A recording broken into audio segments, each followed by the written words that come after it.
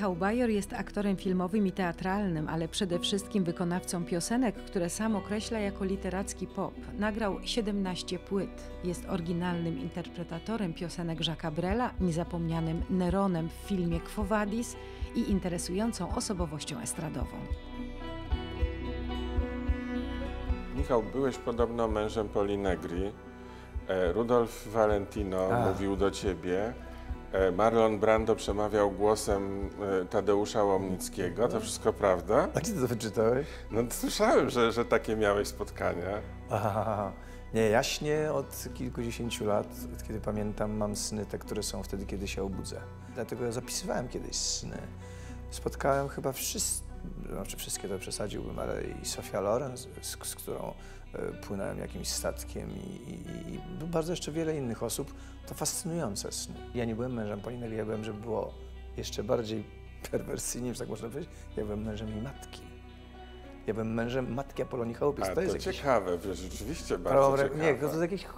Te sny są czasami tak poplątane. Czyli Pola Negri była twoją córką. Moja, bo nie, bo Elegi była, nie, córką nie w sumie. Nie, nie, nie, nie, ja byłem jakby drugim mężem tej, chał, tej no, chałupiec, tej matki.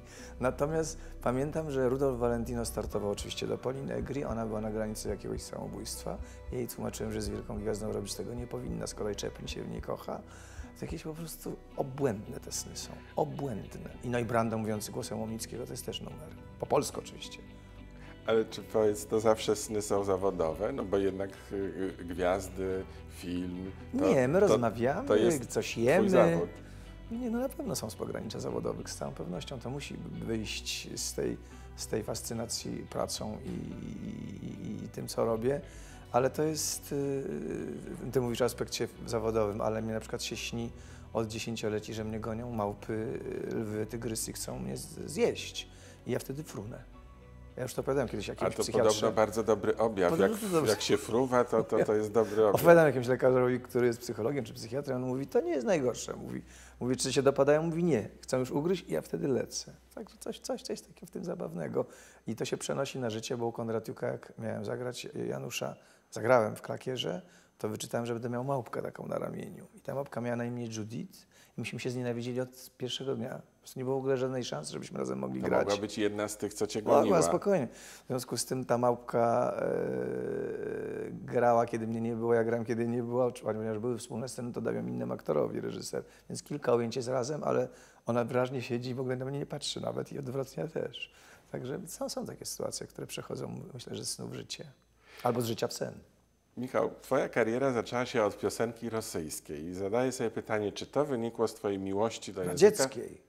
Radzieckiej? No radzieckiej, Zielona No, Góra ale po 70. rosyjsku. No po rosyjsku, to prawda. To, czy, czy to wynikło z miłości do języka rosyjskiego? A w żadnym wypadku miałem dwóje z rosyjskiego zawsze. Znaczy dwóje to może pani, przepraszam pani profesor, jak pani jest i to słucha nas i ogląda. Yy, Nie, dwóje może nie, no ale jakieś trzy z dwoma. Wtedy nie było jedynek.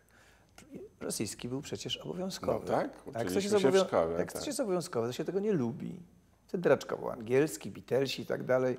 W moich czasach przynajmniej rosyjski to była taka średniawka. Także ja pojechałem na festiwal, bo chciałem śpiewać. No to była jakaś furtka. Przecież nie będę tu wymieniał nazwisk, bo może nie sobie nie życzą, ale czołówka polskich piosenkarek i piosenkarzy to jest Zielona Góra. To nie, że Sopot od razu i Opole i, i tak dalej. To jest, to jest Zielona Góra, festiwale harcerskie, zielonogórskie i tak dalej. Tak. Piosenka się nazywała, o ile dobrze pamiętam, Siemionowna. Siemionowna, Siemionowna i, i, i, no i spowodowała to, że jak zdawałem do szkoły teatralnej po trzech latach, od tego czasu to jeszcze pamiętał Bardini, także profesor Bardini, że to, że to miało miejsce. A to spowodowało też, że miałeś lepszą ocenę z rosyjskiego w szkole? No miałem ku, ku trochę oburzeniu klasy, Dlaczego ku oburzeniu? no bo Bo nie nie zasługiwałeś. zasługiwałem po prostu, już demokracja była jakaś tam młodzieżowa, no w dodatku byłem przewodniczącym klasy i oni uznali, że jak to, skoro on zasługuje na trzy, to dlaczego ma cztery? Także coś mieli trochę rację. Nauczycielka wtedy powiedziała, proszę bardzo wystąpić na festiwalu, dostać dwie nagrody też dostaniecie. Bardzo mądra nauczycielka. No, paru ich było mądrych, bo ja mogłem na przykład z matematyki emerytury doczekać w szkole, bo nic nie umiem z matematyki ani z fizyki. I też nauczyciele byli świetni, bo mówili, że no i co z tego, że będziemy cię zostawiać na drugi rok w klasie, jest i tak mniej więcej nie będziesz umiał, a widzimy, że jesteś humanistą, bo ja miałem dobre oceny z humanistycznych przedmiotów. Czyli w takim razie no miałem świetnych nauczycieli. Oni rozumieli, że ja idę kompletnie w swoim już wybranym kierunku. Ale te piosenki w innych językach jakoś Ciebie y, lubiły, bo też czytałem gdzieś, że miałeś szansę we wczesnym okresie swojej kariery na międzynarodową karierę w duecie z włoską pio piosenkarką Rezi nazywa. tak. Patrycją Rezi, ale nie zgodziłeś się na ten duet, a mie, mie, to, to miało być drugie Albano, Romina Power i Albano. Albo pierwsze, nie wiem, czy oni jeszcze już wtedy byli. No to byś był pierwszym Albano. Dlaczego nie, To nie ja. nie zostałeś? Rodzice, rodzice powiedzieli, że chcą, żeby syn zdał maturę. Że wolą, żeby syn zdał maturę. Ale w ogóle skąd ten pomysł najpierw powstał? On Kto mnie zobaczył, miał? no, on mnie pomysł? zobaczył na scenie. W dniu, w którym ja otwierałem drugi Międzynarodowy Dzień Płytowy w Sopocie jako gość, po tej Zielonej Górze zresztą, bo chcieli pokazać organizatorzy w Polsce, że są, mamy inne festiwale. Mhm. Chcieli to pokazać, są międzynarodowe jury, prawda? Dzisiaj to zabawne z perspektywy czasu, bo co to za jury i co to za festiwal, w sumie tak międzynarodowy, no ale niech było, był międzynarodowy wtedy. No i e, był na sali w amfiteatrze jej menedżer, tej Patrycji. Ona w tym dniu brała udział w konkursie. Mhm. Ja brałem udział poza konkursem. Ja otwierałem to jako gość. Zapowiadał mnie zresztą wspaniały Lucjan Kedryński w pierwszym rzędzie siedziała Irena Dziedzic. Straszny szum się zrobił, pamiętam wtedy. Kto to jest? E, Radziecka ta firma e, Melodia e, wystosowała protest. Protest? Tak, że się podszył jakiś facet z, z nielegalnej wytwórni płytowej w Rosji, znaczy w, w Związku Radzieckim. Oni nie wiedzieli, że ja jestem z takiego festiwalu. Więc było dużo takich bardzo zabawnych historii. Ten mnie usłyszał, Włoch, w ogóle też znowu tak z tymi snami. Włoch mnie usłyszał śpiewającego po rosyjsku. Jego e, pa, e, e, dziewczyna, w sensie, którą prowadził, śpiewała tam w konkursie. Mnie zaproponował z nią kontrakt roczny, żeby właśnie zrobić duet taki we Włoszech, a rodzice powiedzieli basta. Ale dlaczego rodzice nie chcieli, żebyś zrobił karierę? No, oni chcieli, żebym zrobił karierę, jak już coś będę umiał. Chcieli, żebym miał wykształcenie. Wtedy mogłem mieć jakiś tam szczeniacki do nich żal. Dzisiaj chyba nie. We Włoszech byłem kilkadziesiąt razy. Nagrałem parę piosenek po włosku. Kariery nie zrobiłem oczywiście we Włoszech, ale każdy marzy, może jeszcze mi się uda coś tam zrobić. Nie wiem. Ale może to dlatego, że mama jest nauczycielką i tak cię trochę pro, A tata próbowała- aktorem. A tata aktorem. Tata aktorem, tak. Ale trzecie podejście do kariery światowej było w Stanach Zjednoczonych. O, tak. Ja pamiętam, my się spotkaliśmy wtedy, jak ty wróciłeś ze Stanów któryś raz, bo byłeś tam wiele razy, bo byłeś po prostu oszalały No jutro jest ten zachwytu dla Jackson. tamtej tak. kultury. Jutro jest ten drugi Jackson, tak. Tak. Tak, tak, mi się wydawało. No i co się stało, że, że, e, że się nie stało? Dlaczego, dlaczego jednak e, nie masz zielonej karty, nie zostałeś w USA, jesteś tu? Ja myślę, że to, to, to, to było takie szaleństwo oparów drinkowych, y, koncertów, na które się chodziło, artystów, których się oglądało z całego świata, którym się udało, marzeń o jakimś niedościgłym, bo tam trzeba się urodzić, to po pierwsze, albo być z Anglii, albo z jakiegoś innego kraju. Ze względu na język. no, ze względu na język, na akcent przede wszystkim. Czasy właśnie Grety Garbo, która mówiła łamaną angielszczyzną, potem się nauczyła i tak akcent był do końca życia, czyli Trych i paru innych wielkich artystów. To czasy filmu, No, prawda? Pola Negri, jak Pola Negri, zaczęła mówić, to ja ją wyrzucili z No Hollywood. dokładnie. Natomiast myślę, że piosenka się rządzi trochę innymi prawami. E, repertuar też. No ale poczekaj, ty tam miałeś koncerty Na z Polonii, gdzie w Chicago. Miałem, Ludzie miałem też. przyjeżdżali na koncerty, tylu ludzi było, że blokowali autostrady w Było. Chicago. Było Dla ciebie. Dla mnie. Czułem się jak Frank Sinatra, ale tylko z nazwy. Znaczy z widoku pełnej autostrady. Ale nie, nie, naprawdę, patrząc z perspektywy czasu, to była mrzonka. Parę osób wtedy życzliwych napisało was, krytyków, jednych ostrzej, drugich łagodniej z perswazją, że Michale, myślimy, że tu jest twoje miejsce i nie wstydź się tego. Także nie przemawia przy mnie jakiś przemożny patriotyzm w tym momencie, choć może trochę też, ale też i, no nazwijmy to, Pragmatyzm. świadomość porażki też. No w jakimś sensie tak, no skoro miałem marzenia, skoro z, z legendarnym dziś już e, dyrektorem Januszem Warmińskim, Ateneum przez telefon e, debatowałem, że to już za chwilę, prawda, e, Carnegie Hall i w ogóle Bóg wie co. A on mi bardzo dobrze życzył, po czym się okazało, że przyjechałem z powrotem. Ja przyjechałem, jak to się mówi, na tarczy, tak? Na tarczy Na tarczy przyjechałem. Jeśli tak to interpretujesz, to na tak. tarczy. Co zobaczyłem, to moje. Co poznałem, nie było mnie 10 miesięcy. Co poznałem, to moje. Co zwiedziłem, też to moje, bo zwiedziłem całą Amerykę. No i myślę, że nawet ta próba metamorfozy, jakiejś tam, e, jak to się nam mówi, zmiana wizerunku, też jakby nie, nie, nie udała się, bo ja zapuściłem wtedy długie włosy, ubrałem się w skórzaną kurtkę, przywiozłem sobie parę par jeansów z dziurami i uznałem, że jestem już właśnie Michael Jackson, polski Michael Jackson. I wystąpiłeś zresztą I w takiej wersji w wystąpiłem w Warszawie. dramatycznym koncercie w tym Warszawie i publicznie nagrałem płytę po angielsku i co? I nic. Publiczność powiedziała nie. Nie takiego Michała Starego chcemy. bajora chcemy, w cudzysłowie. I ten bajor wrócił w garnitur, może niekoniecznie w krawat już, bo krawatu już dzisiaj nie noszę, ale pamiętam, że, że publiczność dała mi wyraźnie do zrozumienia no, mniejszą frekwencją, nazwijmy to. Uznali to za no, taką drobną zdradę. Ale wiesz co, uznali za zdradę i czekali na ciebie, bo kiedy wróciłeś do siebie, czyli do tego bajora, którego To tak znali i trwa, chcieli, to trwa. to takim jesteś do dzisiaj i masz swój styl. To jest styl bajora, o którym też można powiedzieć, że to jest taki pop literacki. No, Tak to sobie nazywam, tak. Ale i też myślę, o czym wiesz doskonale jako kolega ze studiów, ale i też dziennikarz i krytyk, że to y, przysparza tylu za ile, za ile przeciw. I może i dobrze, bo chyba nie ma nic gorszego jak ciepłe piwo. Kto jest przeciw albo co jest przeciw? Znaczy jest, jest bardzo dużo ludzi, którzy nie lubi tego repertuaru. Nie lubi. Jest dużo ludzi, którzy nie mają jakby wrażliwości, może to jest też niedobre słowo, nie mają chęci słuchania czegoś, co jest głębsze, mądrzejsze, co jest o czymś, ponieważ gdzieś lubimy lekko, łatwo i przyjemnie. To jest też prawda, ja też czasami lubię. Dlatego ja zawsze powtarzam, nigdy nie mam pretensji do tego, że zgłośnie radiowe czy telewizyjne nie puszczają mnie od rana do nocy. Natomiast mam pretensje, że w ogóle nie puszczają tego typu rzeczy prawie, które ja robię, bo szkoda. Bo kiedy na przykład młody człowiek, który coś takiego ogląda, a nie znał wcześniej, bo nie miał okazji, a nagle puszczają mnie w jego paśmie słuchalności, bo nie wiem, jest rocznica śmierci Brela albo urodzin Piaf i wtedy nagle przypominałem sobie, że ja też jestem. Mówię o, oczywiście o, o tych, o tych y, jakby no, publikatorach komercyjnych, bo takie, no, takie publiczne to oczywiście bardziej się pochylają. To, to, to w tym momencie jest żal, bo ludzie nagle zaczynają pisać na, w internecie, czy wysyłać listy, które ja potem dostaję od redakcji. Ojej, jakie fajne, a jakie o czymś. Także to jest, to jest A szalenie... dlaczego ja tego nie wiedziałem Dlaczego wcześniej? wcześniej nie wiedziałem wcześniej? No to już jest sprawa osób, które o tym decydują. Dlatego, dlatego szalenie ważne jest, y, żeby była jakiś, jakaś iluminacja y, w publikatorach, a jej nie ma. Ja nie mówię tylko o sobie, ja mówię o wielu artystach. Cieszę się, że byłem też w tamtych czasach, kiedy ta kariera, która była, była naprawdę ogólnopolska.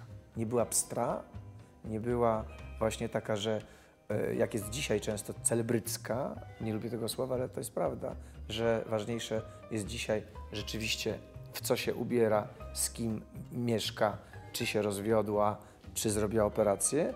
Wtedy jednak chyba było ważne, co śpiewa, No, w czym gra. A gdyby ktoś ciebie zapytał, z kim mieszkasz y, i, i, i co jesz na śniadanie, to co byś odpowiedział? Czasami są rozmowy, że, że się odpowiada, ale czasami ja mówię, no nie o tym program, albo mówię, jak będę pisał książkę, to może napiszę. Albo jak będzie ktoś pisał książkę, to napiszę. Ja, ja wiem, że jak, nie, na, na tyle, ile chcę sobie mówić o swojej prywatności, to mówię. Ale nie wydaje mi się, żebym, żebym był e, jakby ja akurat nastawiony na to, żeby to było głó- głó- głównym, głównym e, moim menu w rozmowie. Myślę, że jest tyle tematów, pozazawodowych też. Naprawdę, bo ja sobie ani nie uciekam, ani nie podkładam się. O, tak to jesteś- sprytnie. Aktywny jesteś w internecie, na med- w mediach społecznościowych, Mało. na Facebooku? Mało, Mało. niestety mało. Przyznam szczerze, że jako autoryzuję jakieś wywiady i wybieram sobie jakieś obiekty wakacyjne, jak jeździmy z przyjaciółmi, z rodziną na wakacje. Nie powiem, że jest mi to obce, bo wiem, że to istnieje, ale nie powiem, że jest mi to potrzebne.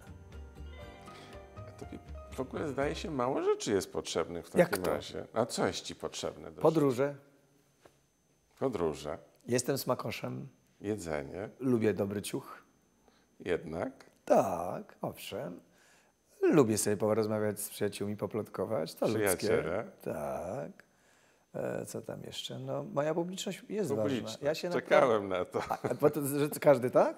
No, że powiesz o widzach, o publiczności, tak. że jednak są ci Oni, mi, oni mnie zbudowali. Oni mnie zbudowali, oni się nie wtrącają, oni potrafią być szczerzy, potrafią być e, mili, e, ale też potrafią być szcze, szczerzy taki, w taki sposób fajny, że, że nie boją się ani mi zadawać pytań, ani ze mną rozmawiać po koncertach, przy autografach. Nie ma jakiegoś strachu, jest szacunek No nowi może mają jakiś strach, którzy przychodzą, że tak ojejku, chciałem podać rękę albo coś tam, to, to naturalne. A powiedziałeś takie staromodne słowo szacunek. Szacunek. W kontaktach między artystą a publicznością rzadko się to słyszy. Ale to oni twierdzą, że ja ich szanuję. Bo ja ich szanuję na pewno. Oni mnie chyba też. Szanuję, bo organizatorzy to mówią. Punktualny, trzeźwy, przygotowany. To taki wyjątek. Może nie wyjątek, ale też zdaje się, że parę już było, że nie można tego nazwać jakimś odosobionym przypadkiem. Mówię o nietrzeźwości. Czy że niekapryśny. Ja, ja mam dwa kaprysy. Chcę być widoczny i słyszalny. Mówię o scenie. Ale wiesz co, ja mam do ciebie trochę żal, taki No. artystyczny żal. No, no. Bo jak już wspomniałeś, razem studiowaliśmy, ja pamiętam, jakim, e, jaką sensacją, jakim wydarzeniem były Twoje występy w teatrze. Już w czasie studiów występowałeś w Teatrze Ateneum w sztuce Petera Schaffera Ekwus. I w niebie zawiedzionych Leny tak jest. I to była rewelacja. Mówiło się, Bajor, to będzie ktoś bardzo ważny dla polskiego teatru. Dlatego, dlaczego potem się odwróciłeś od teatru? Znaczy, z całą pewnością pierw, pierwszym powodem to był film. Jednak y, mnie najpierw porwał film. Piosenka była taka zawsze od, po troszkę, te festiwale wcześniej, ale Mhm. jednak film, no, nawet, nawet, na- nawet ta Agnieszka Holland debiutująca, wspaniała, z, z emocjonującą dla mnie spotkaniowa Ba- Batą Tyszkiewicz, u której boku zagrałem w tym filmie jako chłopie, potem- 17-letnie. Potem Edward Żebrowski w I Biały potem Dzień. Edward Żebrowski dzięki Krysiandzie, która mnie zobaczyła właśnie we Kwusie, bo była w Teatrze Ateneum i ona by poleciała mnie Edwardowi. No i dzięki temu mogłem zagrać w tych kilkunastu filmach, plus u, u, i tego Istwana Sabo w Hanusenie, nominowanym przecież do Oscara. Kiedy wszedłem w rolę, te dwie, trzy, cztery, to rzeczywiście to mogło pójść w stronę tę, którą mówisz. Ale mnie zaczęli sobie reżyserzy przekazywać jak piłeczkę ping-pongową. Zaraz po Żebrowskim był Idziak, zaraz po Idziaku był Bajon, zaraz po Bajonie był Falk. Jakie wielkie, prawda, wspaniałe nazwiska. I to tak poleciało, że pan Janusz Warmiński ciągle kiwał tą głową idź, idź, idź i mi ciągle umykały te role teatralne. No nie mógł mnie zaangażować do roli. Teatr jest instytucją szalenie feudalną w dobrym tego słowa znaczeniu. Trzeba być karnym, trzeba być punktualnym, trzeba być na próbie, trzeba poddać się dyrektorowi, reżyserowi i zespołowi. A ja, film mnie trochę wyrwał czasowo, a piosenka potem dołożyła, zdemoralizowała mnie trochę piosenka. Krnąbrny się stałem, że dłużej lubię pospać, że to ja wybieram sobie dzień, w którym występuję, kiedy chcę, y, idę na plan swój koncertowy i tak dalej, no chyba, że to festiwal, no to wtedy jestem jakby pod, poddany rygorom. A w teatrze trzeba być bardzo karnym. W filmie też, w filmie też. Ale film mnie najpierw zabrał teatrowi, a potem piosenka dobiła. Tak to można powiedzieć. Ale teraz sam jesteś Neronem polskiej piosenki. Neronem, żebyś wiedział, że nie ma koncertu, na którym y, y, ileś ludzi, osób by nie podeszło i nie wspominało tego, bo o ile film, co wiemy i ty wiesz doskonale i rozmawialiście przecież o tym. Mówimy jest o Quo reżyserii Kawalerowicza. co, co, co, co wszystkich nas rozczarował. Choć obejrzało go kilka parę milionów ludzi, choć mógł być strzałem, sam pamiętam, jak rozmawialiśmy o tym. O tyle będę zarozumiały w tej rozmowie raz. Mam nadzieję, że do tej pory nie byłem. To bardzo dobra moja rola. Naprawdę. To bardzo, mimo że panu Kołżyńskiemu się nie podoba, to bardzo dobra moja rola. Naprawdę. Pamiętasz, że Kałużyńskiemu się nie podoba.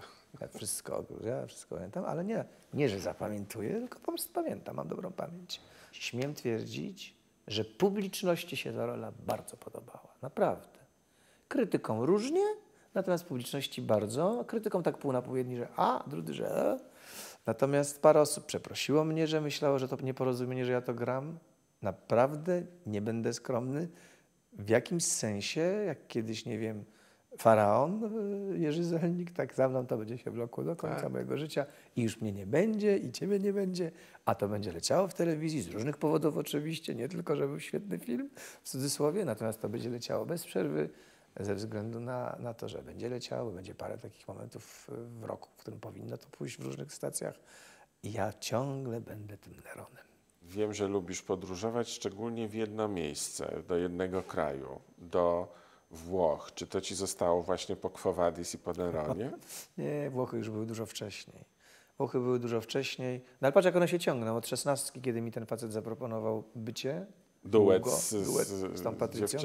I Miałeś Po- być Albano, Tak, potem byłeś Neronem. Tak. Po czym, po czym y, raz pojechałem i wsiąkłem w klimat, w smaki, w, w, w, ludzi, którzy są, nie wiem, czasami podobni do nas, czyli bywają roztrzepani, nierzetelni, spóźnialscy, mówię o nacji jakby, e, ale bardzo żywiołowi, uśmiechnięci, często radośni. E, No i, no i to, że tam naprawdę no, każdy kamyczek to jest jakiś kawałek historii, to jest niesamowite. Ja nie jestem może, może typem muzealnika, to się ktoś zdziwi słuchając naszej rozmowy, że ja jadę i chodzę tylko po muzeach. Nie, nie, nie. Ale też nie jestem typem leżenia na plaży. Musi się dziać, więc lubię zwiedzać, lubię podróżować, lubię po- popluskać w jakimś dobrym basenie, pobyć z przyjaciółmi, wypić dobre wino, pójść na dobry film, obejrzeć na DVD film. W ogóle to, to akurat twoja działka i wiem, że to, że to ci będzie miód na serce. Ja kocham kino, naprawdę kocham kino. Uwielbiam kino, gdybym mógł, chodziłbym do kina codziennie. Daje mi to taki nieprawdopodobny oddech i w podróż, w bajkę, albo w rzeczywistość, albo w jakieś spełnianie marzeń, albo w, no, w kino jest niezwykłe. Teatr jest już coraz bardziej wymaga skupienia. W tej wariackości, która dzisiaj jest, w tej nieprawdopodobnej iluminacji, która jest teraz świata, do teatru, żeby pójść, trzeba być bardzo przygotowanym. Żeby nie zasnąć i nie dlatego, że jest zła sztuka, tylko nie miga. U nas w tej chwili wszystko naokoło miga. Włączam telewizor, miga. Wchodzę na scenę koncertową festiwalu, miga. Włączam e, showy, miga. Teatrze stoją wspaniali aktorzy, mówią, grają. Trzeba być niezwykle percepcyjnie przygotowanym dzisiaj na teatr, dlatego tak się cieszę, bo byłem ostatnio też w teatrze, oglądałem sztukę, że jest bardzo dużo widzów w teatrze, czyli że nie, nie jest tak źle. Nie jest tak źle. No, a jeśli lubisz filmy, no to teraz rozumiem, dlaczego te sny y, y, z aktorami. Możliwe. Dziś pomyślałem sobie, że może spotykasz się z Polą Negri, spotykasz się z Marlonem Brando, spotykasz się z aktorami we śnie. Tobie brakuje filmu. Pomyśl jednak Bardzo. o tym, że Ja? podświadomość, tak, Ale ja nie podświ- reżyseruję. podświadomość do ciebie puka. Ja wiem o tym. Ja wiem o tym, panowie To reżyserzy. kto się na kogo obraził? Myślę, że reżyserzy na mnie, Za co? że śpiewam. To jest takie, to jest takie yy, prowincjonalne. Według mnie niestety. Taka szufladka. To jest szufladka.